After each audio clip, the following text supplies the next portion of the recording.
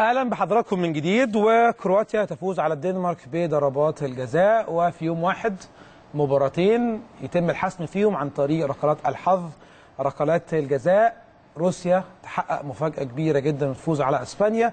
لكن كرواتيا هي اللي كانت ممكن تخرج لكن بتنجح إن هي تفوز أمام الدنمارك وتتأهل لدور الثمانيه علشان يعني نكمل يوم أو نكمل في توقعات صح. في ناس توقعت دخول إسبانيا لكن روسيا هي اللي دخلت. المباراه الثانية توقعنا أكيد كلنا كرواتيا. كرواتيا كسبت منتخب الدنمارك وبالتالي منتخب كرواتيا واحد من المنتخبات المرشحة بقوة للفوز بكأس العالم. يعني كلنا شفنا المستوى اللي ظهر بيه كأس العالم فبالتالي ما فيش منتخب ليه عنده أسامي كبيرة ممكن يكون مرشح كل حاجة واردة. المنتخب اللي عنده المجموعة الكويسة اللي بيلعبوا team work مع بعض أو روح الجماعة بينهم وبين بعض كويسة. وعندهم اجتهاد وعندهم جهد داخل الملعب هو ده المنتخب اللي هيحقق الفوز. غير كده شفنا الأرجنتين شفنا البرتغال شفنا منتخب أسبانيا بيخرجوا من بطولة كأس العالم في دور ال 16 معايا ومع حضراتكم أستاذ كريم سعيد رئيس تحرير موقع يلا كوره دوت كوم. برحب بيه وهيكون معايا عشان يحلل مباريات كأس العالم. مساء الخير عمر ومساء الخير لجميع مشاهدين قناتنا. أخبارك كله تمام؟ الحمد لله الحمد لله الحمد لله. يعني تابعنا مباراه كرواتيا والدنمارك زي ما أنت شفت وتابعت وكرواتيا يعني ضربات جزاء الحارسين تألقوا. نعم. وكانوا سبب في تصدي لأكثر من ضربة جزاء لكن كرواتيا كانت قريبة من إن هي كانت ممكن تخرج ويبقى يعني ضربتين في الرأس يوجعوا في يوم واحد. صحيح. لكن كلمني بقى عن بداية دور 16 اللي بدأت امبارح بين مباراه الأرجنتين وفرنسا وأيضا أورجواي والبرتغال. توقعاتك إيه لليوم؟ هل كنت متوقع فرنسا؟ هل كنت متوقع الأورجواي؟ طبعا لا فرنسا أكيد طبعا. حتى إحنا قلنا إن الأرجنتين في دور المجموعات حتى أيام التصفيات صح. فريق غير مؤهل خالص إن هو أصلا ينافس على البطولة. ليه؟ لأن منتخب الأرجنتين بنتكلم على أضعف squad الأرجنتين من سنوات كتير أضعف قايمة خصوصا في خط الوسط وفي الدفاع. وكان في مجاملات عشان نكون برضه يعني الدنيا صح. واضحة. كان في مجاملات خصوصا لماسكيرانو. ولميسي فنيا داخل الملعب. عشان ديبالا النهارده كان ديبالا وميسي الاثنين بيتشابهوا إن هم الاثنين بيغطوا نفس مساحة بس هل الكلام ده حقيقي كريم؟ يعني هل الك... هل الكلام إن فعلا ديبالا مش هيلعب علشان ميسي موجود في الملعب؟ بص يا عمر هنثبت. يعني بص طبعا التأويلات اللي قبل البطولة كان في تصريح صح تلفزيوني لديبالا وهو اتسأل وجه التشابه بينه وبين ميسي. فهو جاوب قال إن أنا وميسي بنلعب في نفس المراكز يعني هو ورا المهاجم بنلعب ال playmaker. وال right wing. طب لو حضرتك مدير فني وعندك اثنين لعيبة زي ديبالا وميسي هل حضرتك ممكن تسخر إمكانياتهم لخدمة منتخب الأرجنتين ولا هتعمل نفس اللي عمله خورخي سامباولي؟ هو طبعا بص ديبالا ما يلعبش في المونديال ده غير آخر 10 دقائق في ماتش كرواتيا اخر يعني الفترة الأخيرة في ماتش كرواتيا وهو كمان متأخر في النتيجة والراجل نازل في وقت مزنوق. طبعا ده مستحيل. بنتكلم على اللعيب اللي كان أحد العوامل الأساسية. فوز يوفنتوس بالثنائية المحلية. طبعا. فإحنا هنا بنتكلم على طبعا قرار فني خاطئ تماما استحالة حد يعمله.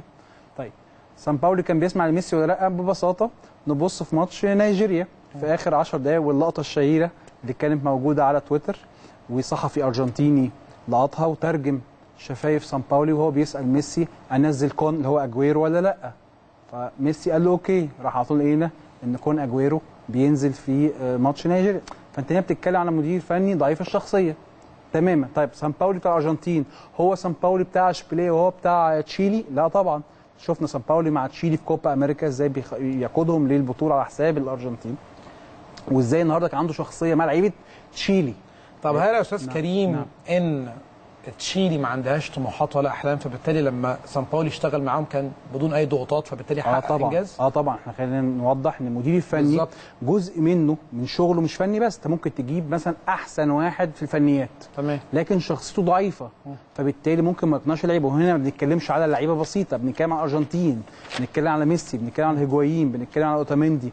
بنتكلم حتى even على إيكاردي اللي ما جاش. بنتكلم على أجويرو. بنتكلم على دي ماريا. ماسكيرانو حتى يعني شخصيات قوية جدا فبالتالي بتحتاج مدير فني يقنعهم بشخصيته. أنا بشوف إن المدير الفني الجيد الجيد كفنيات لكن ما عندوش شخصية ما ينفعش يمسك الفرق أو المنتخبات اللي هي كلاس إيه. ما بالعكس ينفعش. صحيح. ممكن مدرب يكون قوي الشخصيه وضعيف فنيا شوية لكن ممكن يتماشى بالظبط مع لأن في جزء. بالظبط لأن في جزء في لعيبة تنفذ التكتيك بتاعك أو فكرك إن هم مقتنعين بيك أصلا كشخص وبيخافوا منك. إنما لو اللعيبة بص لك إن أنت يعني واحد عادي يعني عادي ممكن نغير فكرك بضغط أو النهارده ممكن نعمل عليك رباطية أو أحزاب داخل ال team حتى ساعتها الصحافة الإنجليزية بتقول إيه؟ بتقول إن هي إن المدير الفني لو فقد السيطرة على غرفة الملابس خلاص. هو ده اللي حصل مع سان باولي سان باولي واضح انه ما كانش عنده الشخصية اللي يقنع بيها ال team ده. وعشان كده شفنا المعاناة للارجنتين في التصفيات. مم. شفنا المعاناة في المباريات الودية. يعني حتى الأرجنتين خسرت ماتش ودي مع نيجيريا 4 2 قبل. البطولة. شفنا المعاناة في البطولة نفسها. صعب جدا كان حد يشوف الأرجنتين بعد يعني المعاناه الكبيره في دور المجموعات. إن حد يقول دي ممكن تكسب فرنسا. مستحيل. مم. حتى بعد التقدم. انت قاعد مستني فرنسا تتعادل وفرنسا تجيب الثاني والثالث والرابع ليه؟ الأرجنتين فريق مهلهل جدا بس طب وخلينا بقى نوصل لغاية ماتش فرنسا ونسأل سؤال مين اللي خد القرار إن ميسي يلعب مهاجم وهمي؟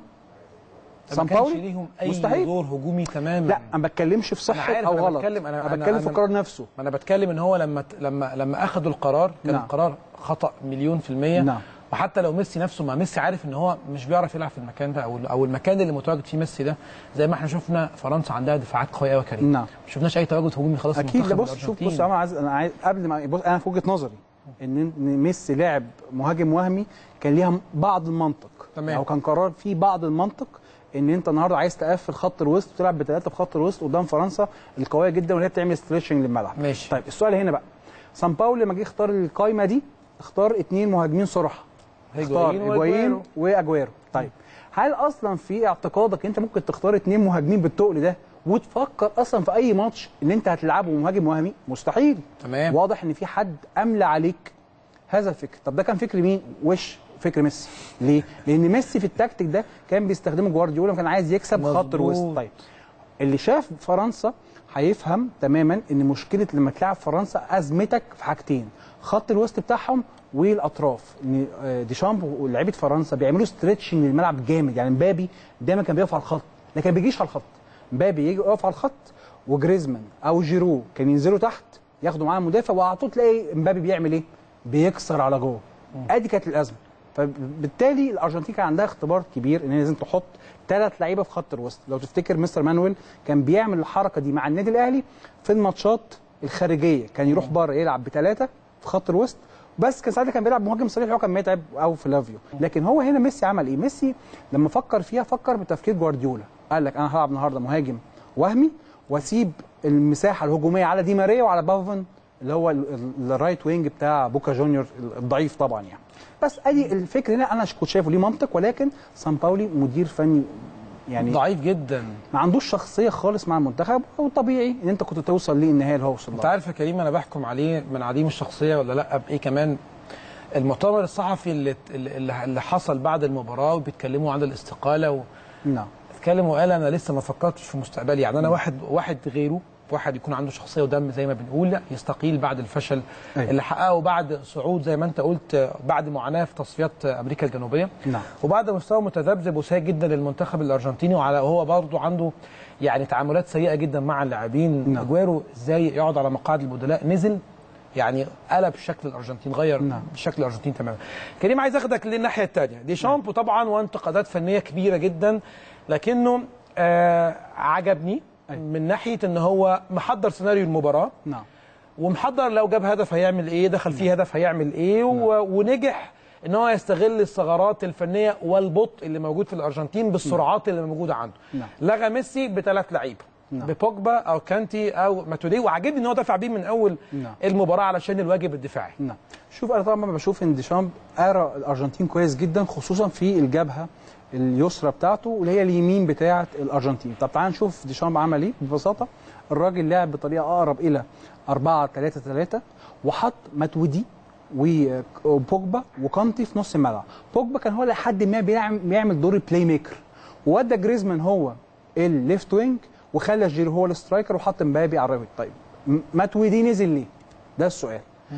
جريزمان مش هيرجع يدافع. بس- بس على فكرة في بعض الكور كنا بنشوفه بيدافع فدي حاجة لغاية كويسة. بيرجع لغاية نص الملعب. مظبوط. لا أنا بتكلم على إيه؟ بتكلم على مين اللي هيدافع مع لوكاس ورا. تمام. لوكاس هرنانديز. مين اللي هيقف معاه ورا؟ مين اللي هيسد الجبهة بتاعت ماتويدي ميسي طبعا. لأن ميسي أصلا حتى كمهاجم وهمي كنا على طول بنشوف إن هو بيتطرف على مظبوط. اليمين. وبافون هو اللي كان بيكسر لجوه هو ودي ماريا. حتى. دي ماريا لما جاب الجون جابه لما كسر لجوه وشاط تمام. فكان واضح جدا إن ميسي لازم يكون معاه حد اتنين بيقفلوا عليه. تمام. دي كانت مهمة ماتويدي ودي كانت فكر ديشامب ولازم إن- يعني يتم تحيته عليه. ليه؟ ده فكر واحد قرأ الأرجنتين كويس وقدر إن هو يقفل على ميسي. ما شفناش ميسي بشكل كبير خلال المباراة طبعا. كلها. كانتي كان لغيه تماما هو أو بوجبا. بالتناوب مع بعض. وفي بداية المباراة إحنا شفنا فرنسا راحت بجملتين copy و paste من بعض. هي هي. البينالتي والكوره بتاعة مبابي اللي خد منها فاول على حدود منطقة الجزاء اللي جريزمان حطها في و والهدف الثاني لفرنسا نعم. والثالث نفس الثغرة من ورا ميركادو ناحية الشمال بالظبط. تتلعب كروس تتلعب فبالتالي برضو نفس الجمل المتحفظه فانت بتتكلم على مدير فني كويس جدا وهو عمل التغييرة بتاعه ماتويدي كانت ممتازة جدا طبعاً. هو طبيعي اللي كان يبدأ في ال left wing ما كانش هيبقى جريزمان طبعاً. كان طبيعي يبقى توماس ليمار لعيب موناكو اللي طبعاً. راح أرسنال وليمار واحد من أفضل ال left wings في العالم ما صح. كانش ينفع يقعد على الدكة لكن مقتضيات المباراة كانت تستدعي هذا التغيير التكتيكي. السؤال هنا هل مثلا لعيبة فرنسا أو ليمار مثلا وليمار لعيب كبير مش مش صغير يعني هل قال. لا أنا إزاي أقعد على الدكة؟ لا المدير الفني مشى كلمته أنا عايز مصلحة ال team. إنما في الأرجنتين للأسف أنا أقولها بصراحة يعني مع إني يعني بحب برشلونة إن ميسي كلمته هو هي المسموعة في المنتخب وميسي عنده رفض تام إن هو يلعب right wing تماما. يعني هو ممكن مثلا مصلحة الفريق مثلا تقضي كنا نشوف إن ديبالا هو اللي يلعب playmaker وميسي يلعب هو ال right wing ميسي بيرفض ده تماما. لا ديبالا ما يلعبش عليا playmaker وحتى شفنا في ماتش كرواتيا لما ديبالا نزل ك right لعب right wing والفرصة الوحيدة اللي جت لديبالا كان هو رايح واحد على واحد مع ال left wing بتاع كرواتيا وميسي وجد له المساحة حدود منطقة الجزاء. فالمفروض كان ديبالا يلعب له الكورة ويمررها عشان يشوط. ديبالا ما عملش كده. عمل الآر تول يعني الضعيفة اللي عملها دي وميسي بص له قال له انت ما بصيتش ديبالا سابه. ولا حتى قال له أنا آسف. فأنت الحاجات المشاهد دي بتوريك إن في خلافات جوه ال team وبالتالي ماتش زي اللي إحنا شفناه ده ديبالا ما خدش ولا دقيقة فيه. ده مستحيل. يعني بتتكلم في حاجة مستحيلة. وواضح إن ميسي ما رضاش إن هو يضحي بجزء من واجباته في المنتخب كأنه قائد وفضل المكسب الشخصي على مكسب المنتخب. يعني هل أنت شايف بالرغم من النتيجة الإيجابية اللي حققها منتخب فرنسا والتألق هل أنت نعم. شايف عدم الاستعانة ب كريم بنزيما أو لاكازيت أو مارتشيال. هتكلم على كريم بنزيما. هل أنت شايف إن أوليفر جيرو عارف يؤدي الدور بأكمل وجه كونه ك striker صريح لمنتخب فرنسا؟ بص جيرو أعتقد الواجب الوحيد اللي ديشام بي- بيحبه فيه وفينجر بشوف فينجر حتى يعني كان وحتى في تشيلسي في- كده بالظبط. كان دايما بيعتمد على جيرو. حتى إحنا بنسأل إيه إيه ميزة جيرو؟ جيرو ميزته في حاجتين بس. إن هو بينزل يخطف يعني محطة لعب وفي نفس الوقت بيسرق المساكين عشان يف- يفتح مساحة للعيبة لزمايله. جيرو قوته في وجود جريزمان. لأن جريزمان عنده القدرة إن هو يلعب على الطرف وسريع ويلعب playmaker وال passing عنده عالي. جيرو برضه ميزته في حاجة واحدة لو أنت عملت cross هتبقى عندك النهارده لعيب. striker طويل يقدر ياخدها. لكن مثلا. الارجنتين في الشوط الأول في ماتش فرنسا ما عندهمش شفنا كمية. عرضيات. دي آه صحيح دي ماريا.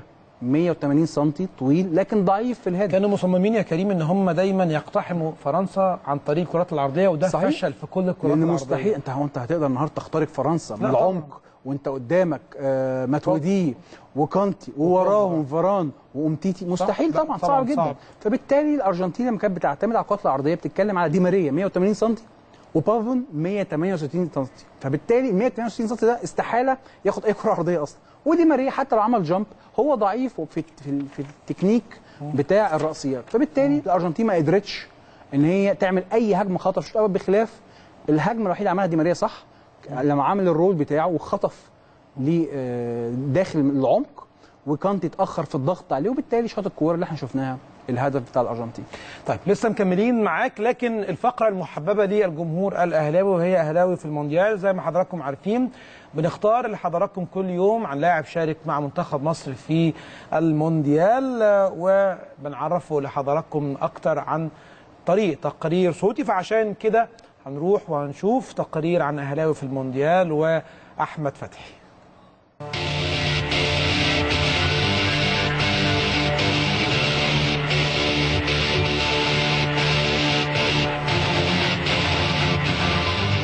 أحمد فتحي نجم النادي الأهلي الذي احتكر الدفاع في الجبهة اليمنى لمنتخب مصر خلال آخر عشر سنوات من تاريخ كرة القدم المصرية.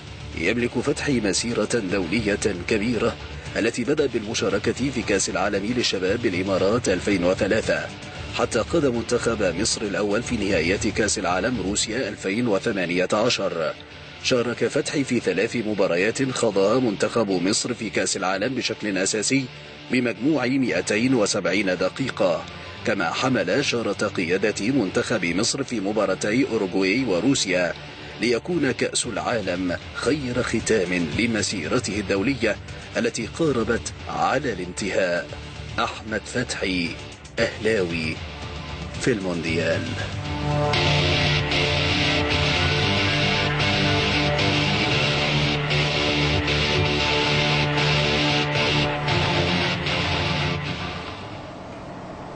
أهلا بحضراتكم من جديد. مفيش شك إن أحمد فتحي واحد من لعيبة الرجالة اللي بيلعبوا مع منتخب مصر أو مع النادي الأهلي آه، من أقل اللعيبة اللي لعبت في كل بطولات الفيفا في كأس العالم شباب أمم أفريقية للشباب آه، مع المنتخب الأول آه، حقق يمكن نجاحات كبيرة جدا مع النادي الأهلي. لاعب الجوكر اللي بيلعب في أكتر من مركز موجود دايما ما بيتأخرش عن لا المنتخب ولا النادي الأهلي. أكيد يعني لو عندنا 11 لاعب زي أحمد فتحي أكيد كان حالنا هيبقى أفضل من كده بكتير لكن آه، هو عندنا أحمد فتحي واحد بس في النادي الأهلي ومنتخب مصر. عشان كده يعني قررنا إن إحنا نختاره لحضراتكم في أهلاوي في المونديال ونتكلم عليه وحضراتكم تشوفوه. أكيد طبعا كريم أحمد فتحي واحد من اللعيبة الرجالة اللي إحنا أحمد فتحي طبعا بتتكلم على يعني آه، روح الملعب. واحمد فتحي ليه رقم مهم جدا لازم يعني السادة المشاهدين يعرفوه. وطبعا الناس بتفتكر أحمد فتحي ال- الهدف العكسي في ماتش روسيا وده اللي يعني ممكن أي حد يفتكر فتحي المونديال ده. لكن أحمد فتحي ليه رقم مهم جدا اللي هو من أكتر اللعيبة اللي عملت tacklings في الدور الأول. وقدر إن هو يعمل 33 tackling في الثلاث مباريات وكسب من 33 tackling دول 13 tackling وده رقم كبير. آه طبعا آه طبعا يعني إحنا آه بنتكلم على ال tackling اللي هو الزحلقة بالظبط. للاعب كرة القدم بالظبط. في الحصول على كره بالظبط. فأكيد طبعا بالظبط. يعني وده بيخليه يتقدم يعني على لعيبة كتير ويوريك إن هو كان بيلعب بروح. لكن تاني أنا بشوف إن فتحي اتظلم في حتة واحدة إن هو الجبهة بتاعته كان فيها لعب كتير. يعني ما تعرفش مين بيلعب قدامه. أنت عارف يا عمر دلوقتي في خطة اللعب الكتيرة. طبعا. معظم الفرق بتلعبك ب 4 4 2 أو 4 3 3 تمام. فدايما الباك لو الجناح اللي على الطرف ما رجعش يدافع معاه على طول هيلاقي نفسه في مواقف 2 على واحد. وده اللي أنا شفته وأعتقد أحمد فتحي في ماتش روسيا من أكتر من أكتر الماتشات. إن أحمد أحمد فتحي فيها تعبان. ليه؟ الشوط الأول كان على طول اثنين وثلاث لعيبة بيروحوا عليه. فأنا مش ببررش يعني الخطأ اللي حصل في الشوط الثاني في ماتش روسيا ولكن عايزين نقول إن الراجل قدم اللي عليه وقف- كلنا الناس كلها بتغلط اللعيبة كلها بتغلط. بس برضه أحمد فتحي زي ما ليه بعض النقط السلبية ليه نقط إيجابية منها نقطه ال- التاكلينجز اللي إحنا قلناها. أكيد طبعا أحمد فتحي واحد من أهم اللعيبة اللي موجودة في تاريخ مصر وفي تاريخ النادي الأهلي. وزي ما إحنا قلنا أحمد فتحي هو جوكر النادي الأهلي.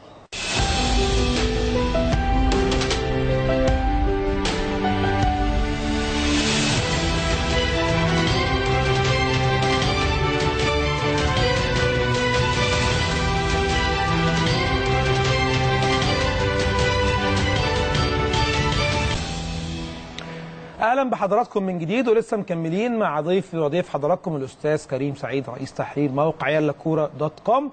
مكملين معاكم المباراة الثانية في دور ال 16 مباراة أورجواي والبرتغال. آه، أورجواي داخله المباراة أقوى خط آه، دفاع آه، جودين وخيمينيز. يعني قلنا إن أورجواي ممكن توصل لأبعد من دور ال 16 بالفعل تحقق- اتحقق ده قدام منتخب البرتغال. دايما يا كريم عندنا نظرية في كرة القدم إن اللعب الجماعي وعدم الاعتماد على النجم الأوحد في منتخب أو نادي بيؤدي إلى فشل واللعب الجماعي يؤدي إلى النجاح وده اللي إحنا شفناه. منتخب اورجواي نجح إن هو يتخطى منتخب البرتغال وفي يوم واحد أيضا رونالدو وميسي. وميسي. يغادروا آه، كأس العالم روسيا 2018 شوف يا عمر ماتش أوروجواي والبرتغال يعني هو كان أكتر ماتش في البطولة لغاية دلوقتي اتعمل فيه كرات عرضية. بتك... آه، بتتكلم عن؟ اوروجواي أوروجواي والبرتغال كل فريق في الماتش الواحد عم- عملوا مش أقل من 25 كرة عرضية. ليه؟ بنتكلم على فرقتين منتخبين ع- بيلعبوا ب 4 4 2 الصريحة ودايما بيعتمدوا على الكرات العرضية في الهجوم. رونالدو بيلعب جنب جويديش في strikers قدام وبنتكلم على سواريز وكافاني في أوروجواي. وعشان كده شفنا حتى في بداية المباراة على طول سواريز أول ما بيطلع بره المنطقة كافاني هو اللي بيخش وبتلاقي ال cross يتعمل. والعكس صحيح. سواريز هو اللي دخل كافاني هو اللي بيخرج بره المنطقة على طول ال cross يتعمل. بتتكلم على فرقتين لحد ما كانوا شبه بعض بشكل كبير جدا وكانوا بيقفوا على غلطة. يعني إحنا شفنا مثلا أوروجواي وهي جابت الهدف الأول على طول رجعت دافعت بتأمن. ما تقدرش تخاطر من كده. وثابت طبعا نص الملعب. أنا كنت شايف نص الملعب ليه آه، البرتغال كان أقوى من أوروجواي. إنك بتتكلم برناردو سيلفا وأندري سيلفا وجواو ماريو. في البرتغال عندهم قدرة وعندهم مهارة أكبر بكتير من مثلا من بنتنكور في في اوروجواي فأنا بشوف إن البرتغال صحيح قدرت تمسك نص الملعب بس اوروجواي لعبت على الأخطاء. وطبعا شفنا الهدف الثاني حتى الاوروجواي اللي في الشوط الثاني كان على عكس سير المباراة تماما. البرتغال لما الشوط الثاني قدرت إن هي تكثف الكرات العرضية والكرات السادة بتاعتها والركنيات بيبي جاب جون التعادل.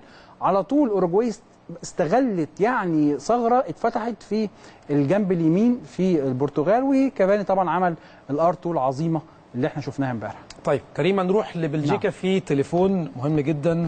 معانا سفين فان دي بروك لاعب بلجيكا السابق علشان نسأله عن رأيه في كأس العالم ومباراة بلجيكا أمام اليابان هلو سفين Hello, good evening.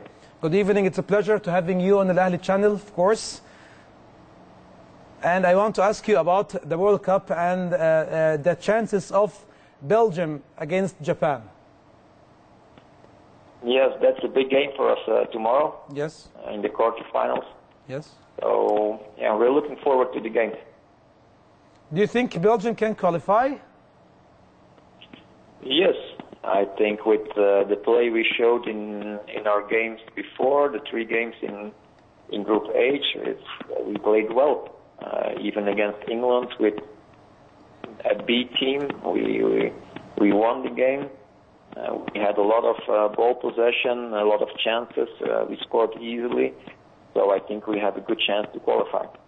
I will translate and I'll be back to you. طبعا في البداية سألته على حظوظ منتخب بلجيكا في كأس العالم قال عندنا مباراة مهمة ونتطلع إلى صعود إلى دور الثمانية أيضا سألته على حظوظ منتخب بلجيكا أمام اليابان قال لي أكيد عندنا فرصة كبيرة لعبنا قدام ثلاث منتخبات آه، خدنا ثلاث نقاط من ضمنهم مباراة منتخب إنجلترا كانت مباراة قوية وأخيرا فازوا على المنتخب الإنجليزي Sven, uh, tell me your opinion about the extreme results in the World Cup. We saw that uh, the big uh, teams go out the World Cup and the, and the small teams qualify. Do you have a reason why this happening in Russia 2018? It's difficult to to explain, but I think there the level or the the difference in level between the countries became smaller. Uh, you can see that small or uh, less qualitative uh, countries uh, play very defensive, very low block in defense, and the big teams they have difficulties to to pass that block. Yes, so they're playing really realistic and they're getting results with it. And for Russia, for example, they, they have the home crowd behind them and they, they live on a certain spirit. And even against Spain today, they they qualify just on, on mental uh, skills. آه سألته طبعا على آه كأس العالم وليه ال- الأسماء الكبيرة بتخرج وليه الأسامي الصغيرة بتبقى متواجدة قال لي طبعا بالطريقة الدفاعية اللي بنشوفها من المنتخبات الصغيرة وصعوبة اختراق آه، الدفاع من المنتخبات الكبيرة بيؤدي إلى آه أسباب الخروج زي مباراة آه، رشا أو مباراة روسيا وأسبانيا واللي انتهت بضربات آه، الجزاء. Sven, do you think that uh, Croatia, for an example, or another uh, small team or national team can win can win the World Cup, or at the end the big national team will win? I think the the advantage of Croatia is that you're on the good side of the plan. I mean, uh, on the right side um, of the plan, it's uh, ah, small teams, so I think they can go to the final. And they don't have a bad team. Uh, with with Modric in, in the midfield, they have a lot of football qualities. So I think they can be near to the final. Um, but I think in the end, I think the left side from the plan uh, will be the winner. And then I'm talking about uh, Brazil, Mexico, or even Belgium. آه، سالته أيضا على هل تعتقد إن ممكن يكون في فرق صغيرة هي اللي تفوز ببطولة كأس العالم قال لي وأديته المثال ع- كرواتيا قال لي كرواتيا أكيد فريق آه، قوي لكنه في الآخر بيتوقع إن الناحية الثانية اللي فيها البرازيل وبلجيكا الناحية اللي فيها الأسماء دي هي اللي ممكن تفوز بالبطوله. Then do you saw the Egyptian national team uh, in Russia in the World Cup? Yes, I saw two games of them against Russia and uh, Uruguay. And what do you think? I thought their performance would be better. Um, I saw also the friendly game against Belgium just before the World Cup. Yes. Uh, against Uruguay, I have to say that they were unlucky uh, because they they take the goal in the last minute of the game on, on, on a corner kick. I think in that game it was a close game. They defended well. Uh, they they uh, closed down all the spaces, um, but they couldn't really be dangerous. Uh, but a draw, I think, was was a logic uh, result um, against uh, the Russia uh, against Russia. Um, in the second half, the Russians, uh, with their mental skills, they they overplayed uh, physically uh, Egypt, and I have to say that because of my my past in Cameroon, uh, it hurted me that uh, Egypt uh, was out of the tournament after two games. آه، سالته على آه، هل هو اتفرج على منتخب مصر ولا لا في بطوله كاس العالم قال لي اتفرجت على ماتش الاورجواي وم- ومباراه روسيا آه، مصر لعبت game آه، آه، دفاعي كويس قدام منتخب أورجواي لكن كانت نتيجة عقلانية بفوز منتخب أورجواي عشان منتخب أورجواي كان ليه فرص أكتر ومنتخب آه، روسيا أيضا زي ما إحنا سمعنا اتكلم على آه، حظوظ. أو منتخب روسيا قدم أداء آه، يعني خطف المباراة بلغة الكورة ومنتخب مصر ما كانش ليه حظوظ. قال لي كان ممكن يعملوا نتائج أحسن من كده. Uh, Mr. Sven, I want to ask you about the difference between Egypt and the uh, final of the African Cup of Nations and Egypt in the World Cup. You were in charge with uh, Mr. Bruce and you won the African Cup of Nations. I think it's a difference in, in level. Uh, the World Cup is even on a higher level than the Africa Cup, uh, I have to admit. Um, it's also the style of playing is different in the in the World Cup. Uh, the Africa Cup is real African football, and uh, Egypt is one of, of the top teams in Africa. But go to the World Cup, yes, it's even 20 or 30 percent uh, on a higher level, and I think they they suffered a little bit uh, in their games, um, and maybe they were a little bit too um, too scary to play football. Uh, maybe they could play a little bit more offensive, in my opinion, um, to um, to get a good result. Uh, of course, thank you, Mr. Sven, for being with me. Of course, uh, it's good points that we talked about, and I hope that we will talk very soon. Thank you so much. Yes. Thank you. كان معايا طبعا سفان فان دي بروك المدرب المساعد لستيف بروس آه، مدرب منتخب الكاميرون في البطوله الأخيرة اللي الكاميرون فازت بيها أمام منتخب مصر. وآخر نقطة سريعا لما بقول له إيه الفرق ما بين منتخب مصر في نهائي كأس الأمم الأفريقية وما بين مصر في كأس العالم؟ قال لي مستوى مختلف. يعني هو شايف إن طبعا كأس العالم بطولة أكبر وبالتالي منتخب مصر كان ممكن يكون خايف شوية أو عنده خوف بعض الشيء في مبارياته في كأس العالم. وبالتالي ده كان رأي مستر سفان فان دي بروك في آه، عن مصر وعن كأس العالم وعن فرص بلجيكا في آه، تخطي منتخب اليابان. كريم. أهلا بيك يعني أكيد مستر سفان اتكلم كان موجود مع مستر نعم. آه، ستيف بروس مع منتخب الكاميرون في آخر بطولة مصر شاركت فيها في أمم أفريقية في النهائي وبالتالي منتخب مصر خسر في النهائي أمام منتخب الكاميرون. تتفق مع رأيه في الكلام اللي قاله أو؟ معظم الكلام الاختلاف بين مصر في نهائي كأس. أفريقيا و آه، كأس آه، العالم. قالوا هم كانوا خايفين زي ما انت لا أنا أتفق معاه طبعا في الكلمة اللي هو قالها إن بتتكلم هنا في high level تماما يعني level كأس العالم منافسة مختلفة عن المنافسه في كأس الأمم. أنت هنا بتلاعب منتخبات عالمية هنا بتلاعب منتخبات من القارة.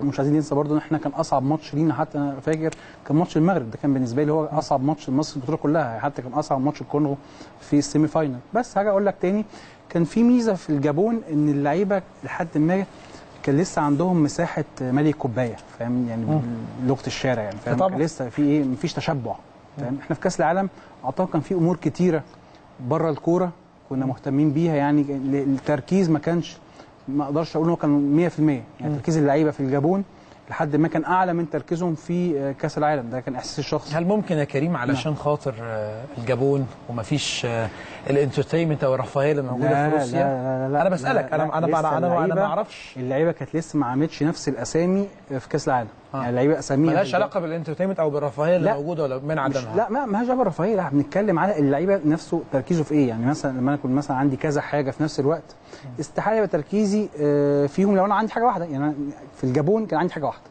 بنركز فيها. لكن بعد الجابون أنا بدأ اللعيبة أساميها تكبر بشكل معين. تصفيات كأس العالم أنت تأهلت.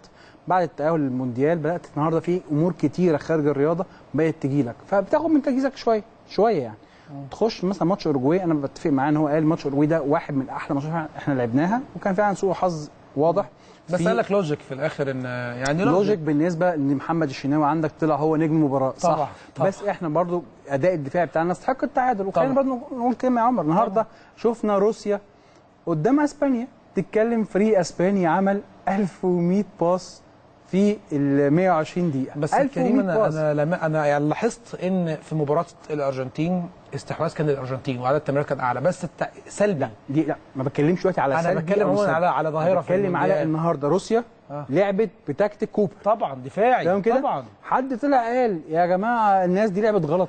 بص هنتفق إن الفوز بيداري على كل حاجة. أكيد أكيد أكيد. والخسارة أكيد، صح. بتوضح كل الأخطاء بس- حتى لو حاجة صغيرة. بس ما تطلبش مني وأنا رايح ألعب في المونديال بمنتخب يعني معلش برضه المنتخب الحالي منتخب مصر مش بنفس القيمة ومش بنفس ال- الكواليتي بتاع منتخب الكابتن حسن شحاتة من بنتكلم من طبعاً. 2006 لغاية 2010 مستحيل إنك تقارن بين الاثنين تمام كده لا طبعا. فبالتالي أنا بشوف إن بعض الأخطاء اللي حصلت لنا في المونديال إن برضو كان في بعض الأمور خارج الكورة وإحنا برضو أحبطنا بصراحة بعد ماتش بتاع آه، أوروجواي وطبعا ماتش روسيا أنت شفت يعني الشوط الأول. وشنا حلو على المجموعة. أوروجواي وروسيا الاثنين كملوا كملوا. صعد يعني آه عايز أروح معاك كده الحته نعم. في الأرجنتين. هل أنت شايف إن قبل ما يعني سريعا جت على دماغي أيوة. هل ممكن إن سان باولي يستقيل ولا يفضل متعنت بالشرط الجزائي وبقيمه التعاقد خمس سنين لسه يعني مكمل مع دي الارجنتين لوقت طويل بتبقى أمور إدارية طبعا آه، أنت شايف إن هو إن هو صح؟ يعمل إيه؟ آه آه، بص هو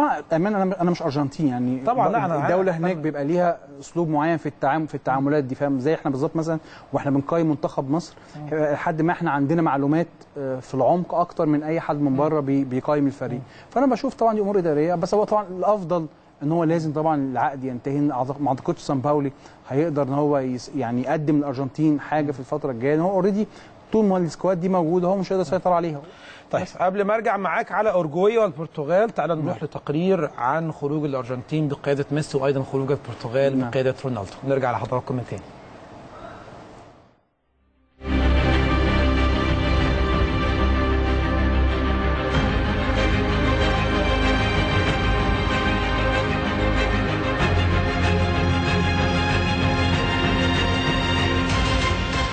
انطلقت مباريات دور 16 لبطولة كأس العالم الذي تقام فعاليته حاليا في روسيا أمس السبت حيث رفع كل منتخب نجح في التأهل لهذا الدور شعار الإثارة والمتعة. جاءت السخونة مبكرا خلال مباراة فرنسا والأرجنتين التي نجح خلالها منتخب الديوك الزرقاء في الصياح في وجوه راقص التانجو. بعدما تألق أبناء المدير الفني الوطني ديدييه ديشامب في تحقيق فوز ولا أروع على الأرجنتين بأربعة أهداف مقابل ثلاثة في مواجهة أشبه بالنهائي المبكر. جذب مبابي نجم منتخب فرنسا الأضواء لا سيما بعدما قاد منتخب بلاده للفوز على الأرجنتين حيث نجح في تسجيل الهدفين الثالث والرابع وقتل آمال وطموحات منتخب التانجو لم ينجح ليونيل ميسي نجم برشلونة في ترك أي بصمة مع منتخب الأرجنتين. غاب تماما عن الفاعلية الهجومية خلال المباراة هو ما جعل سهام الانتقادات توجه إليه خصوصا من وسائل الإعلام الأرجنتينية التي كانت تعول عليه آمالا كبيرة لحصد لقب المونديال خاصة بعد الخروج المبكر للأرجنتين التي كانت وصيفة النسخة الماضية في البرازيل. في الوقت الذي حمل فيه مارادونا أسطورة الكرة العالمية والأرجنتينية المدير الفني للفريق خورخي سامباولي مسؤولية الخروج المبكر من كأس العالم بعدما فشل في توظيف كوكبة اللاعبين المتميزين التي يضمهم المنتخب لافتا إلى أن الأداء السيء للمنتخب الأرجنتيني خلال مباريات دور المجموعات كان ينبئ بصعوبة المنافسة على اللقب. كما اقتنص رفاق سواريز وكافاني وخيمينيز وجودين بطاقة العبور لدور الثمانية بعد أن لاعبوا الملاحين البرتغاليين رفاق رونالدو بكل ذكاء وفازوا عليهم بهدفين مقابل هدف رغم الضغط البرتغالي نهاية المباراة. إلا أن ثبات السيليستي جعلهم يفوزون بالمباراة لملاقاة الديوك الفرنسية في دور الثمانية لتكون مواجهة لاتينية أوروبية. ينتظر أن تمتع عشاق كرة القدم بين أوروغواي وفرنسا. مواجهة ساخنة تنتظر دور الثمانية للمونديال. لعل أبرزها التي ستقام غدا بين البرازيل والمكسيك في قمة أمريكا الجنوبية. ما يزيد من قوة المواجهة هو أن كل من المنتخبين يمتلك بين صفوفه العناصر المتميزة التي تؤهله لصنع الفارق مع منتخب بلاده وقيادته لدور الثمانية. هناك أيضا بلجيكا واليابان كولومبيا وإنجلترا والتي ستقام يوم الثلاثاء المقبل على أرض ملعب استاد إتكريت أرينا.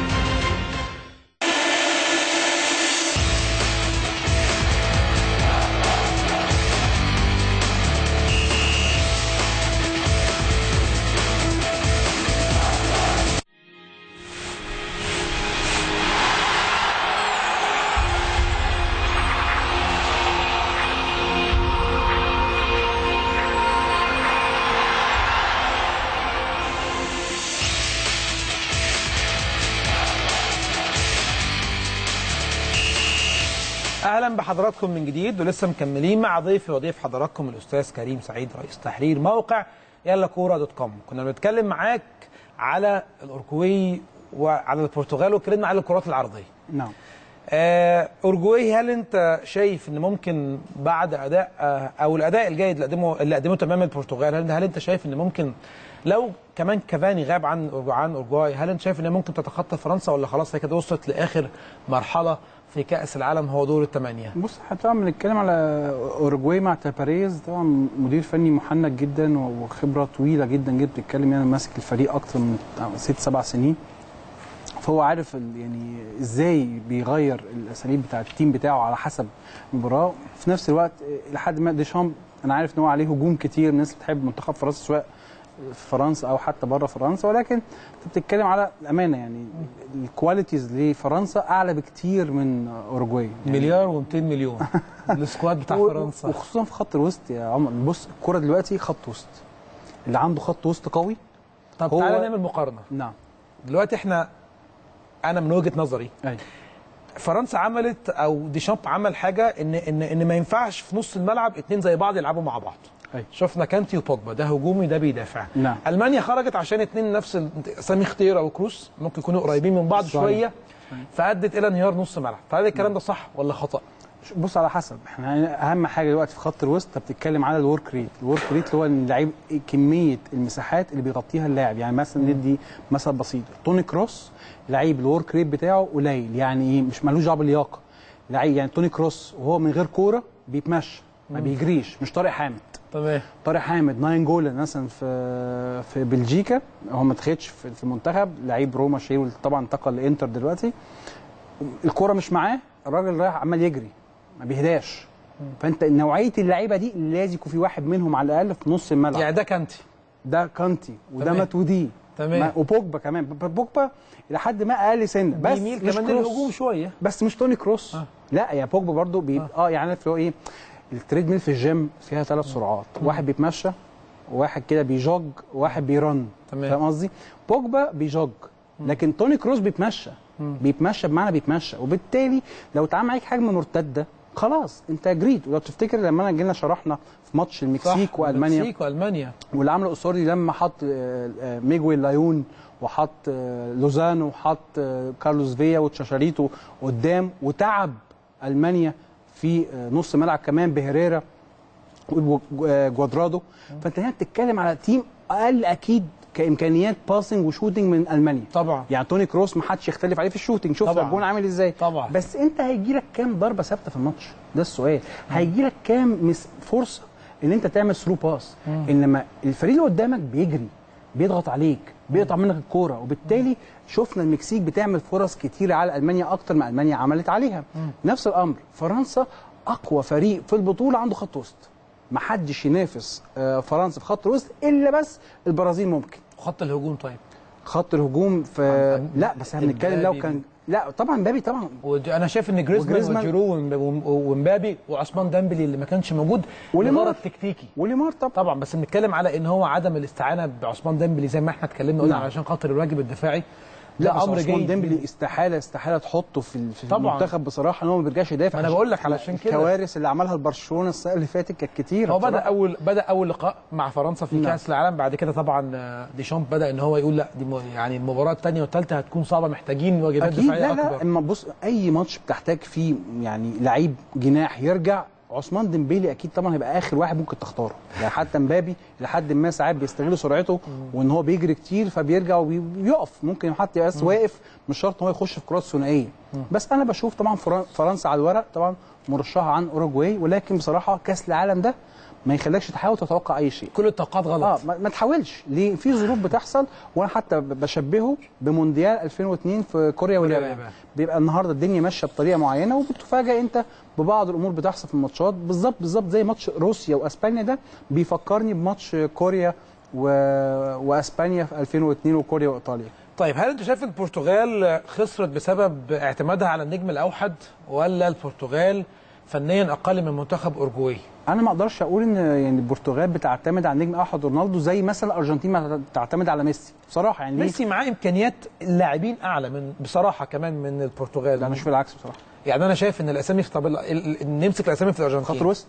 كلمنا عن خط في سيبك من الهجوم. في الهجوم؟ آه أصل الهجوم في الآخر عمرك ما هتلاعب ميسي وأجويرو وهيجوايين آه ودي ماريا استحالة مستحيل. في اثنين على الأقل هيخرجوا.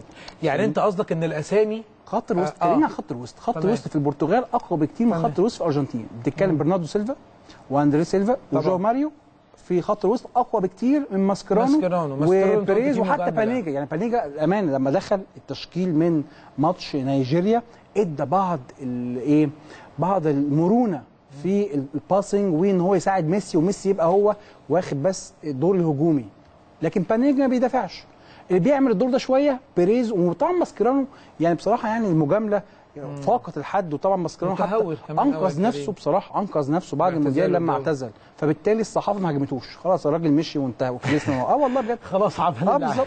لا مشي خلاص. عارف هو إيه؟ قال لك أنا هتشتم وبتاع. خلاص مش هتشوفوني تاني. فأنت بتتكلم طبعا خط وسط الارجنتين استحالة تقارنه بخط وسط البرتغال. فبالتالي بشوف لا هي ما اعتمدتش على رونالدو. ان رونالدو زي ما قلنا لعيب ذكي. جه في آخر ثلاث سنين. رفض إنه يلعب left wing خلاص بيرفض تمام ده وبيلعب striker ليه؟ عشان هو عارف امكانياته البدنية حاليا تقدر تع- تعمل الدور ده. النهارده ونجح فيها كريم آه طبعا جدا. شفنا النهارده بنزيما آه، قصدي آه، بنزيما و- ورونالدو في ريال مدريد في خطة 4 4 2 اللي عملها زيدان كسبت مدريد ماتشات كتير جدا. وكان صح والثلاثه Champions League خدهم ورا بعض. أساس فيهم إن زيدان ثبت طريقة اللعب على 4 4 2 كانت مشكلته بس في اسكو وحلها في آخر الموسم. بس. طيب نروح لمجموعتنا و... أو نكمل مع مجموعتنا اللي إحنا مشينا حلو عليهم ومنتخب روسيا. نعم. بيفوز على منتخب أسبانيا بركلات الجزاء الهدف الأول اون جول نعم. يعني كمان أسبانيا مش هي اللي حرزت الهدف. وروسيا تتعادل بعديها عن طريق ركلة جزاء ونروح لضربات الجزاء. لكن قبل ما أخدك لحتة ركلات الجزاء عشان عندي أنا عندي كام علامة استفهام على مستوى أسبانيا في ضربات الجزاء. أيوة. هل انت شايف ان اسبانيا بالرغم من الاستحواذ الكبير والباسس العالية اللي إحنا اتكلمنا فيها ان اسبانيا مررت تمريرات كتيرة جدا نعم. في اللقاء هل انت شايف برضو ان الاستحواذ ده كان سلبي ولا قوة الدفاع الروسي مع مدير فني أو كوتش عرف يدير المباراة بشكل عرف ياخد منه اللي هو عايزه هو ده سبب فوز منتخب روسيا أو الوصول بمنتخب روسيا لضربات الجزاء اللي هو عايزها المدير الفني. بص هو أنا بشوف إن يعني الحاجة الوحيدة كانت ممكن روسيا تكسب بيها إسبانيا هي فعلا ركلات الترجيح. كان صعب جدا إن روسيا تكسب آه، إسبانيا في ال game play. صعب جدا. تمام. فبالتالي أنا بش- بس بشوف إسبانيا لعبت ماتش مش وحش. يعني إسبانيا بعد الهدف ضيعت فرص. حتى لما روسيا جابت آه، ضربة الجزاء لحد ما طبعا خطأ غريب جدا جدا من بيكيه ما بفهمش. يعني وأنت بتنط ليه بترفع إيدك بال- بالشكل ده؟ ونفس الخطأ عمله أومتيتي في دور المجموعات فبتحس إن مدافعين برشلونة وهم بينطوا بيرفعوا إيدهم بطريقة يعني زايدة عن اللزوم وبالتالي أنت بتمنح المنافس ضربة جزاء من, من, من لا شيء صح. أنا بشوف إن روسيا طبعا كانت محظوظة في ضربة الجزاء قدرت ترجع بيها المباراة وعملت ضغط بصوت الجمهور طبعا جات لهم دفعه وبدأوا يثبتوا اسبانيا طبعا لما وصلنا للشوط ال- الإضافي بدأت تضغط وشفنا روسيا خلاص بقى روسيا بترجع وبتعمل الزون ديفense يعني عند خط ال 18 صح. بس صح، أول. برضه أسبانيا ظلمت في ركلة جزاء كانت واضحة جدا جدا جدا لبيكيه وراموس مع بعض. والحكم رجع للفار اللي عامل مشكلة في البطولة تقنية الفيديو وبص عليها وما فهمتش ليه ما حسبهاش. يعني كانت يعني سهلة جدا بحس تحسبها. كريم إن الحكم دايما بيبقى الموضوع جاي على كرامته. إزاي احسب قرار وأرجع فيه؟ صح؟ والله بص أنا- لا أنا ما شفتهاش كده النهارده بصراحة. لا أنا بتكلم على أنا بتكلم على الفار بشكل عام. okay. على على تقنية الفار إن الحكم لما يروح يجري يبص في كورة. ضربة جزاء 100% أيوه. طب يعني يعني إزاي زي؟ كرة السنغال. كرة السنغال دي بالنسبة لنا كانت مستحيلة. يعني كرة السنغال في في ماتش كولومبيا؟ في ماتش كولومبيا. بالنسبة لا لا أنا لا بالنسبة لا. بالنسبة لي لا بص على الفخذ. في إهمال. ضربة الجزاء ليها حاجتين. إن أنت النهارده عرقلت أو أهملت في الوقوع بتاعك. شوف الفخذ مش لمس الكرة الأول لا ماليش لا بص بص ما أنا بتكلم معاك في. الحكم في. إن الكلام بيتقال. بص. الكلمة دي خلي بالك ممطوطة قوي حتة لمس تمام. الكوره دي. دلوقتي مدافع استخلص الكوره من مهاجم تمام. وخدها تمام وهو بياخدها طير رجله تمام لا فاول تحسب طبعا إيه؟ لا فاول طبعا هتيجي تقول لي أصل خدت الكوره الأول لا لا لا فاول طبعا فبص على الكوره بتاعت السنغال بص على فخذ اللاعب بتاع كولومبيا هتلاقيه إن هو أهمل واللعيب السنغال ماني أعتقد كان هو المهاجم ماني بالظبط ماني ساديو ماني اتأثر بيها ووقع دي ضرب بالنسبة لي ضربه جزاء انت شفتها في الفار تاني النهارده الكرة بتاعت بيكي وبتاعت راموس في الكرة الثابتة المدافع شدهم لف بيهم واضحة جدا يحصل ضربة بس أنا حسيت بصراحة إن هو اتأثر بالجمهور. بالجمهور على فكرة منتخب أسبانيا. كان قلقان قبل قبل المباراة من حكم اللقاء لكنه بقى حكم اللقاء كان سبب في عدم احتساب ركلة الجزاء. طيب آه، ركلات الجزاء نعم. أنت شفت إن منتخب أسبانيا يعني ضيع ركلتين جزاء. الدخية ما كانش موفق.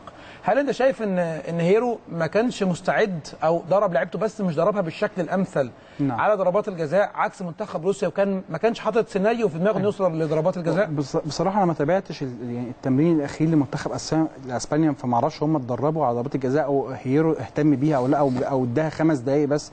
يعني ساعات في مديرين فنيين بيدربوا فرقتهم لمدة نص ساعة من التمرينه لما بيلعبوا ماتش في ال knockout أو في خروج المغلوب على ضربات الجزاء كتير.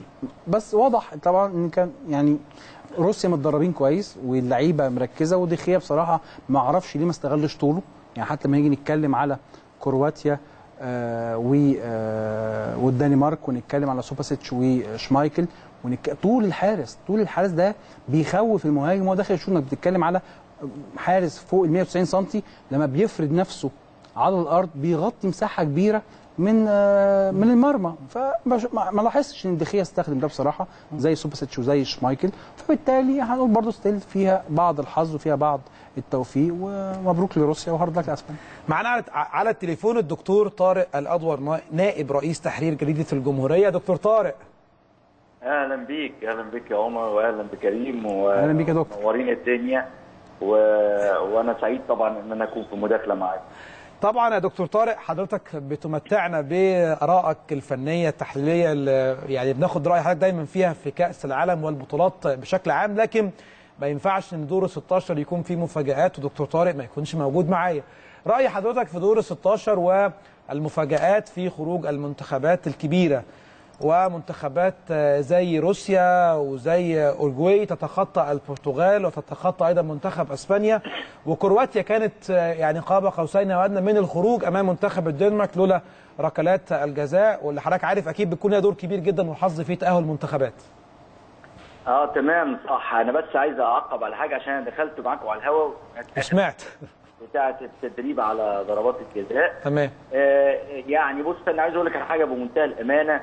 هي آه ركلات الترجيح بشكل خاص. موضوع يعني بيعتمد على عوامل كتير قوي.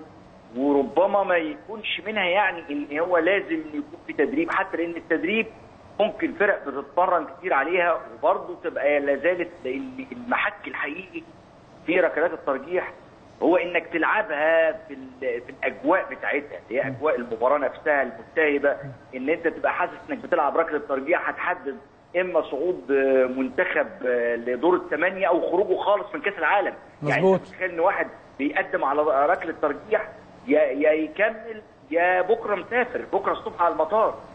فالموضوع بيبقى فيه عوامل كتير قوي قوي قوي ومهما أنت اتمرنت في تدريبة مقفولة ويا دوب كده بس اللعيبة اللي بتتمرن مع بعضها آه صحيح بتفيدك وبتخليك برضو تاخد قرار في الزاوية اللي هتسدد عليها أو تخليك تاخد القرار في إن أنت هتلعبها إزاي أو كحارس مرمى يقعد يدرس بقى. الأهم من من من من, من التدريبات دي بشكل خاص هو اللي حتى بيحصل قبل ما اللعيب بيشوط ركله الترجيح أو ضربة الجزاء. وتشوف كده مثلا اللعيب ده في الغالب مثلا شاط 20 آه، ركلة آه، جزاء. ومنهم مثلا 18 واحدة في الزاويه اليمين واثنين بس في الزاويه الشمال وبتبقى أرضية فال دي اللي بتبقى محل دراسة الجهاز الفني أكتر. من ان هو التمرين في حد ذاته وأنا بقول يعني إن دائما ركلات الترجيح مش عارف ليه دايما أو في الغالب إذا كان فريقين في المباراة الأصلية ووقتها الاضافي آه، وفريق هو المميز فنيا أكتر دايما تلاقي ركلات الترجيح تدين لل- للأقل فنيا. في المباراة. مش عارف ليه يعني. القاعدة وده اللي حصل في مباراة أسبانيا طبعا روسيا. بمنتهى الأمانة أنا بعتبر إن الخاسر الأكبر في المونديال حتى الآن هو المنتخب الأسباني. يمكن آه، إحنا بنتكلم على الأمس كانت آه، فرنسا بتلعب مع آه، الأرجنتين. الأرجنتين. وكنا يعني إيه يعني الشيء الطبيعي إن أنت الأرجنتين اللي فيها ميسي إنها تت يعني تكمل مسيرتها في المونديال. لكن على ضوء المستويات اللي كانت موجودة للفريقين ما قدموش عروض كويسة. لكن على الأقل على مستوى ال- الأداء في ال- في الدور الأول إحنا ما كناش مقتنعين قوي بأداء الأرجنتين. كان عندهم نقاط ضعف كثيره جدا مشاكل كثيره جدا فنية من سان باولي نفسه المدير الفني. يعني ما كناش يعني متوقعين. لكن المباراة فيها 4 3 أنا شايف إنها آه، كانت آه، شكل المباراة آه، جيد جدا ومباراة فيها سبع أهداف. بالأمس برضو اوروجواي والبرتغال. أنا عايز أقول لك على حاجة البرتغال فريق النجم الأوحد ضمن خمس آه، منتخبات راحت كأس العالم وكانوا بيطلقوا معاها عليها فرق النجم الأوحد. و و وللأسف فرق النجم الأوحد كلها خرجت من المونديال. يعني يعني آه، في feature كان معمول حتى في الفيفا آه، على اللي هي الفرق اللي بتعتمد على نجم. اوحد على فكرة إحنا منها. طبعا ما أنا كنت هقول لحضرتك طبعا منتخب مصر منتخب محمد صلاح. منتخب مصر محمد صلاح والمنتخب الأرجنتيني فريق ميسي والمنتخب البرتغالي فريق فريق آه، كريستيانو رونالدو والمنتخب ال- ال- الدنماركي حتى مسمينه فريق آه، كريستيان إريكسن اللي هو يمكن هو ظهر أكثر من لاعب توتنهام. آه آه آه لاعب توتنهام هو اللي كانوا بيعتبروه برضه من ضمن فرق النجم الأوحد وطبعا آه، روبر ليفاندوفسكي في بولندا. برضه كانوا بيسموا بولندا فريق النجم الأوحد خرجت بولندا خرجت مصر خرجت الأرجنتين خرجت. البرتغال والنهاردة كمان خرجت الدنمارك اللي هي خارج. فرق النجم الأوحد فريق آه، أريكسن فالفرق الخمسه خرجت فعايز أقول لك إن إن البرتغال في الأمس يعني ما تعتبرش مفاجأة قوي. يعني اوروجواي آه صحيح شكل المباراة إن هي كانت فنيا أعلى في في الشوط الثاني. فريق البرتغال أضاع فرص كثيره وكان هو اللي خلى المنتخب الاوروجواياني يسقط كل 11 لعيب بنص ملعبه. لكن من- واقع مستويات أداء البرتغال كده في الفترة الأخيرة هي فريق النجم الأوحد. وحتى لما بيكون كريستيانو رونالدو مش في الفورمة بتاعته أو مش في مستواه الفريق بيبقى مش مش في حالته. وبالتالي كان خروجه أمر طبيعي. يعني يعني المنتخبين اللي هم الارجنتيني والبرتغالي بنجميهما الكبيرين طبعا كريستيانو رونالدو وميسي أغلب الناس أنا أعتقد كانوا هم المتابعين كانوا بيتوقعوا خروج الفريقين بكرة إن شاء الله. اتفضل حضرتك كمل. اتفضل يا دكتور كمل. فعايز أقول لك ان إن ركلات الترجيح ما تقدرش تعرف راحة فين. النهارده مباراتين بركلات الترجيح واحدة منهم كانت للفريق الأقل فنيا وهي في مباراة أسبانيا وروسيا اللي كل الناس شافت طبعا المنتخب الأسباني كان متفوق فيها فنيا. والمباراة الأخرى كرواتيا والدنمارك كانت هي الفريق الأفضل فنيا من وجهة نظري. كرواتيا مقدمة مونديال جيد وعندها لعيبة مميزة وبالذات الحارس النهارده سوباسيتش اللي قدم مباراة كبيرة قوي وصد ثلاث ركلات. بكرة إن شاء الله هيكون في مباراة البرازيل والمكسيك. تيتي يلعب أوسوريو وبالتالي هنشوف مباراة فنية عالية جدا. وأيضا بلجيكا واليابان. هل حضرتك شايف إن ممكن يحصل أي مفاجآت ولا البرازيل هتفوز وبلجيكا هتحقق فوزها أمام اليابان؟ بص آه، آه، عودنا المونديال ده ما تقدرش تضمن ابدا خلاص،. والمرة المستويات تبقى قريبة جدا. يعني حتى أنت أنت متخيل الفرق اللي, طلعت أصلا قبل الجولة الأخيرة زي كوريا الجنوبية كسبانة ألمانيا بطل العالم تلاقي مثلا ال- المنتخب البولندي بعد ما خلاص ركب الطيارة حقق آخر فوز آه، الأول فوز فيه في المباراة الأخيرة. فأنت ما تقدرش تتوقع بالذات مع فرقة أنا شايف إن لو أنت سألتني دلوقتي من هو أفضل فريق تكتيكيا وفنيا بيلعب بشكل جماعي أنا أقول لك وأرد عليك أقول لك المنتخب المكسيكي على الرغم. من الخسارة الثقيلة في الجولة الأخيرة قدام السويد والخسارة يعني 3-0 ثلاث أهداف لكن أنا يعني شايف المنتخب المكسيكي فريق قدم لنا كرة حلوة المثلث الهجومي بتاعه تشاريتو وخافير هرنانديز وكارلوس ديلا ولوزانو الثلاث لعيبة دول الحقيقة من أفضل لعيبة في المونديال تنفيذا للهجمة المرتدة، هجمة مرتدة بتطلع صح تمريره أو اثنين توصل للمرمى بيضيعوا فرص كثيره من خلال هذه الهجمات المرتدة. ممكن يبقى عندهم الفرصة في هذه الهجمة لو ما حرصش المنتخب البرازيلي واندفع للهجوم. هتكون المكسيك آه، عندها فرص كويسة جدا في الهجمات المرتدة. ال- ال- المباريات البر- البرازيل والمكسيك دايما تتحلى بأنها مباريات قوية رغم إن الاثنين من قارتين مختلفتين المكسيك من الكونكاكاف اللي هي أمريكا الشمالية والوسطى والبحر الكاريبي والبرازيل من أمريكا الجنوبية لكن آه، بيلتقوا كتير قوي في كوبا أمريكا. دايما كوبا أمريكا بتبقى 12 فريق 10 من أمريكا الجنوبية الفرق- المنتخبات العشرة واثنين بيجوا من آه، أمريكا الشمالية غالبا بتكون المكسيك واحدة منهم.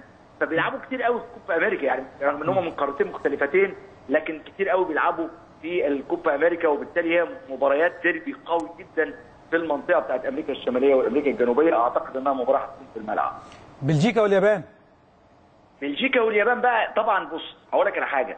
أنت سأل... لا, لا أنت ما سألتنيش بس أنا قلت لك لو سألتني أفضل فريق تكتيكيا في كوريا. قلت أقول لك آه، المكسيك منتخب المكسيك آسف. آه إنما لو أنت سألتني مين هو الفريق الأكثر حشدا للنجوم والفريق اللي انت ما تقدرش تقول ان هو فريق النجم الأوحد. كل اللعيبة بمستويات متقاربة جدا هقول لك المنتخب البلجيكي.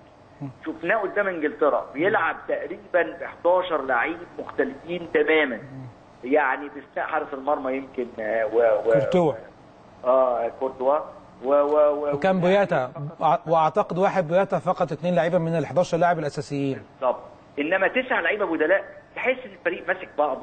وتلاقي يعني آه، غاب لوكاكو تلاقي باتشواي آه، يعني غاب ميرتنز تلاقي يعني فاهم؟ يعني آه، تلاقي يانوزاي يعني لعيبة كتير قوي موجودة في المراكز المختلفة بتغطي لك بنسب يعني فروقات دايما بين الأساسي والاحتياطي لازم يكون في فارق. طبعا. بس ما يكونش مثلا الأساسي 80% والبديل 40% تلاقي الفرق كبير قوي في المنتخب. لا لو جبت منتخب بلجيكا بين الأساسي والاحتياطي ده مثلا 85 تلاقي ده 75 فرق 10% صح. فرق 20% في المستويات فأنا شايف إن المنتخب البلجيكي قريب جدا لكن برضه لا يؤمن جانب المنتخب الياباني تقدم عروض كويسة جدا واحد من الفرق اللي هي آه، آه، الأعلى بدنيا في البطولة يعني مظبوط. يعني إيه؟ يعني فريق الأكثر اكتمالا في النجوم وفريق من أعلى الفرق بدنيا يعني تلاقي إن هو من أكثر الفرق اللي بتعمل آه، كيلومترات في الملعب. اللعيبة الديستانس كفر بتبقى كبيرة جدا بالنسبة للاعيب اليابان. فبرضه مباراة ترجح فيها كف كفه بلجيكا جدا لكن لا يؤمن جانبها زي ما قلنا بالظبط على البرازيل دكتور طارق بشكرك. شكرا جزيلا على وجودك معايا. دايما بتمتعنا برؤية تحليلية على أعلى مستوى ودايما يعني الأرقام والإحصائيات. دكتور طارق الأدور نائب رئيس تحرير جريدة الجمهورية. أرجع ليك تاني يا كريم ومباريات بكرة ما بين البرازيل والمكسيك. شفنا المكسيك ست نقاط فوز في مباراتين لكن بنتفاجئ بخسارة بثلاث أهداف أمام المنتخب السويدي. البرازيل بداية أولى أمام المنتخب السويسري تعادل فوز ثم فوز. مارسيلو هيغيب عن البرازيل في لقاء في لقاء بكرة. شايف إن ممكن أي مفاجآت تحدث في مباراة البرازيل والمكسيك؟ لا هو طبعا لو بتتكلم على آه، مفاجآت وارده في كل الماتشات زي ما قلت لك. أكيد خلاص إيه؟ حرمنا آه، نتوقع تاني. هو طبعا تيتي واوسوريو انت بتتكلم مواجهه فنية قوية جدا جدا وزي ما قلت لك. منتخب المكسيك من أحسن المنتخبات اللي لعبت في الدور الأول بعيدا عن الخسارة قدام السويد 0 3 أنا بشوف المكسيك هي يعني المنتخب الوحيد فعلا ممكن في الوقت الحالي يقدر يعمل مفاجأة قدام البرازيل مش ننسى إن البرازيل برضو زي ما قلت لك خط الوسط بتاعهم قوي جدا. بنتكلم على كازيميرو بنتكلم على فرناندينيو وطبعا بيبقى معاهم كوتينيو هو اللي بيعمل دور ال playmaker وساعات حد ما ممكن آه في بعض الخلاف بشوفه ما بين كوتينيو ونيمار في في الدور. يعني نيمار برضو طبيعته طبيعة لعبه إن هو بيبدأ في ال left wing وبيخش على قلب الملعب أو عمق الملعب. نفس الأمر في كوتينيو. كوتينيو تحس هو متضرر من الأمر ده من ميسي. برشلونة بس يعني فالفيردي بيحاول يحلها. بس انت بتتكلم برضو البرازيل آه، فرقة قوية جدا. ويليان right wing قدامه بنلعب على آه، مهاجم جيسوس ونيمار وراهم كوتينيو. رباعي برضو يعني قوي جدا. دفاع تتكلم على ميراندا وتياجو سيلفا وفليب لويز وحتى دانييلو. برضو لما راح السيتي لحد ما شم نفسه وحارس أل- أليسون. فرقة قوية جدا. طبعاً. ما عندهمش نقطة على. فكرة إحنا البرازيل دلوقتي بقى عندها ميزة إن هم بقى عندهم حراسة مرمى قوية جدا. قبل كده كانت كنا. بنفتقد إن البرازيل عندها عيب في حراسة المرمى. مع ان والله بشوف إيدرسون أحسن اليسون يعني الناس بتحب أليسون مصنف في البرازيل إن هو الأول. أنا بشوف إيدرسون لا حارس السيتي هو أفضل منه. شفنا أليسون يعني مع روما. في ال Champions League ما كانش قوي يعني. طيب إحنا بنتكلم أكيد عن كأس العالم ف ومنتخب مصر وعن المدير الفني القادم فهنروح ونسمع ونشوف تقارير مع النقاد الرياضيين عن رأيهم في آه، المدير الفني القادم للمنتخب الوطني. تمام.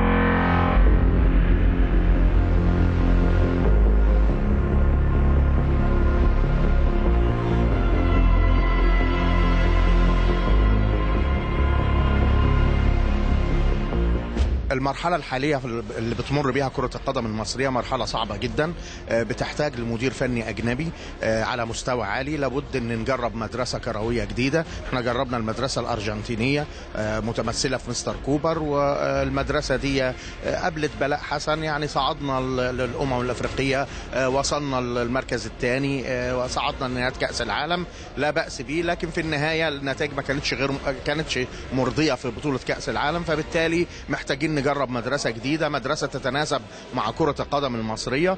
آه، نحتاج مدرسة برازيلية مدرسة ألمانية. إحنا يمكن جربنا مدارس كتير سواء في أنديتنا الأهلي الزمالك الأندية الأخرى. جربنا مدارس كتير وعندنا آه، نماذج لمدربين نجحوا مع كرة القدم المصرية. على رأسهم المدرسة البرتغالية نجحت نجاح آه، باهر مع كرة القدم المصرية. أتمنى أن نشوف مدرب يقود منتخب مصر في الفترة الجاية بفكر جديد فكر هجومي فكر اللي هو بيحتاجه جمهور كرة القدم المصرية. التغيير الآن. صحيح العنوان الرئيسي. مدير فني عالمي بقى زي ما سألتني بطاقم كامل لكن أيضا نريد مدير رياضي لاتحاد الكرة مدير فني. مش مدير فني جاي عشان يدي رخص وممنوع يكلم الفريق الأول رغم إنه صديقنا محمود سعد لكن فرضت عليه. وبالتالي أعتقد إن هو ده التغيير المأمول. ليست فريق بفريق أو نجوم بنجوم ولا إدارة فنية. لكن اللي هيجي دلوقتي وبحسبه بسيطة هو قاعد لشهر ستة بس. لأنه حتى مع إن إحنا خسرانين ماتش مع تونس في تصفيات أفريقيا لكن أظن معانا سوازيلاند وفرقة كمان مش فاكرها إذا تستطيع أن تصعد مع تونس. طيب هيروح أمم أفريقيا. هل يملك نفس ما حققه على كل يعني كراهيتنا الكروية للرجل بنشكره طبعا. آه، عم اسمه إيه؟ كوبر. هل يملك أن يلعب النهائي؟ طب إذا لم يلعب النهائي كيف سيكون التقييم؟ منتخب مصر محتاج مدرب أجنبي. إن إحنا بنتكلم على مدرب وطني إن إحنا تحت الضغوط دي كلها مش هينجح. المدرب الأجنبي هنقول ما هيكتور كوبر جه والكلام ده كله ما نجحش. لا هيكتور كوبر ما, ما آه، خد وقته وخد فرصته. وكنا كلنا على قناعة إن هو مش هيعمل حاجة وكنا مصممين عليه. هنتكلم إن في ماتشين آه، أفريقيا تصفيات خلال الشهرين الجايين ده كله ما أعتقدش إنه هيفرق. ممكن أجيب مدرب دلوقتي من ينضم لجهاز أجنبي ويبدأ يساعد آه، زي ما كابتن أسامة نبيه مع هيكتور كوبر أشوف مدرب آه، شاب قادر على إنه يكون عادل وفير مع اختياراته في جميع اللعيبة ويساعد الجهاز الفني الأجنبي. أعتقد بص من النهايه ما فيش مدرب وطني ينجح مع منتخب مصر. تجربه الكابتن حسن شحاتة كانت مرحلة وعدت مع اللعيبة اللي كانت معاه. إنما لو كان الكابتن حسن شحاتة مع احترامي ليه بالجيل الموجود دلوقتي ما كانش هيقدر يعمل حاجة. في البداية خليني أقول لك إن أي مدير فني هيتولى المسؤولية خلف مستر كوبر سواء كان مصري أو أجنبي هو هيرث تركة ثقيلة جدا. لأنه الناس زعلانة. نتائج مخيبة للأمال في كأس العالم. أي نعم وصلنا بعد 28 سنة بس في فرق أقل مننا قدمت مستويات آه، أفضل. آه، فأعتقد من وجهة نظري المدرب الأجنبي هو الأفضل في الفترة اللي جاية إن المدرب المصري مش هيقدر يستحمل الضغوط. مش المناخ العام في مصر أو في اتحاد الكورة عموما مش هيهيأ له آه، مناخ صحي إن هو يقدر ينجح. لأن عارف أنت عندنا نوع من تصفية الحسابات شوية نوع من كل واحد عايز يجيب الشلة بتاعته. فأعتقد إن المدرب الأجنبي هو الأفضل في الوقت ال- الحالي بالنسبة لمنتخب مصر. أنا كان نفسي مصري بس هو خلاص أجنبي وتم الاستقرار خلاص إن هو أجنبي. دلوقتي أعتقد رينارد هو اللي فيه مفاوضات كبيرة معاه. الملف كله مؤجل لحد ما يشوفوا آه، رينارد وعودته في مفاوضات معاه. رينارد هو رقم واحد دلوقتي على أولوية آه، اتحاد الكورة. آه، بعد رينارد بقى في أسماء تانية كتير مرشحة بس هو رينارد هو ال- ال- يعني ال target بتاع اتحاد الكورة دلوقتي. أعتقد إن هو اختيار كويس ويا ريت يتم فعلا. مدرب كبير مدرب بدر يعني برضو قدر يعمل نجاحات كبيرة جدا وقاد المغرب بشكل كويس والمغرب ظهر بشكل كويس. يا ريت رينارد أعتقد لو بس في يعني فشل رينارد يا ريت يتم التفكير في التاني في المدرب المصري. في مدربين كتير جدا قادرين إن هم يعني يظهروا بشكل كويس جدا مع المنتخب.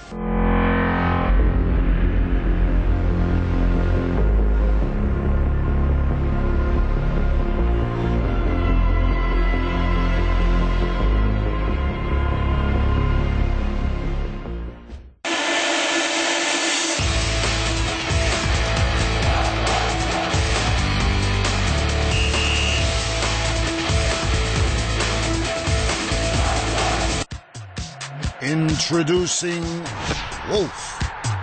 He might be small, but you won't find anyone faster, bolder, or better with a ball.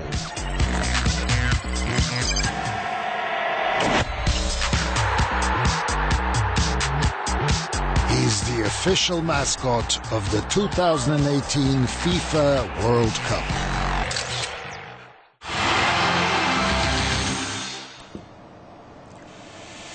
أهلا بحضراتكم من جديد ولسه مكملين مع ضيف وضيف حضراتكم الأستاذ كريم سعيد رئيس تحرير موقع يلا كورة دوت كوم.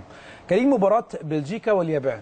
هل أنت شايف إن ممكن أي مفاجآت تحدث تاني؟ هقول لك مفاجآت بنتكلم على الورق. ماليش دعوة باللي بيحصل إيه بالماتش مفاجآت كفايه آه يعني إحنا عايزين بقى نستمتع بالجانب آه، الايجابي لا، لا، للبطوله وجود منتخبات كبيرة. بلجيكا إن شاء الله يعني آه، تثبت مستواها ده مفيش معاها مفاجآت بصراحة. بلجيكا فعلا بتتكلم واحدة يعني عندهم فرقة أساسية وفرقة بديلة في المونديال. يعني قبل المونديال كنا بنتكلم إن ألمانيا كان عندها ثلاث فرق. يعني شفنا ألمانيا فعلا يوخيم لوف في التصفيات لعب بثلاث فرق مختلفة وقدر يصعد. بس طبعا في المونديال برضه كان في بعض المجاملات في المنتخب الألماني خصوصا يعني فيما يخص حراسة المرمى ومانويل نوير اللي كان مصاب طول الموسم وتير شتيجن اللي موسم ممتاز. مع برشلونة. وما لعبش. فانا بشوف لا بلجيكا يعني تقدر طبعا بالفرقه الاساسيه تتخطى اليابان واليابان برضو بصراحه استغلت حاجة يعني ما بتحصلش ما عمرنا ما شفناها في حياتنا إن فريق بيصعد يعني بكروت. يعني. كريم يعني بشكرك شكرا جزيلا على وجودك. معايا شرفتني ونورتني واستمتعت بتحليلك وأكيد هيكون. معانا لقاءات. تانية كتير عشان. تمتعنا بتحليلات شكرا كنا مع حضراتكم من الساعة 10 لحد الساعة 12 كان ضيفي وضيف حضراتكم الأستاذ كريم سعيد رئيس تحرير موقع يلا كورة دوت كوم واتكلمنا معاه عن رأيه في دور ال 16 في كأس العالم روسيا 2018 بكرة إن شاء الله هنكون مع حضراتكم في نفس الميعاد من الساعة 10 لا بكرة هيبقى ملك وكتابة إن شاء الله هيعود عشان يبقى الاثنين والخميس. هنبقى مع حضراتكم بداية من يوم الثلاث من الساعة العاشرة حتى الساعة الثانية عشر إن شاء الله نشوفكم على خير يوم الثلاث في لقاءات جديدة في كأس العالم. اشوفكم على خير على قناة الأهلي. تصبحوا على خير. السلام عليكم ورحمة الله وبركاته.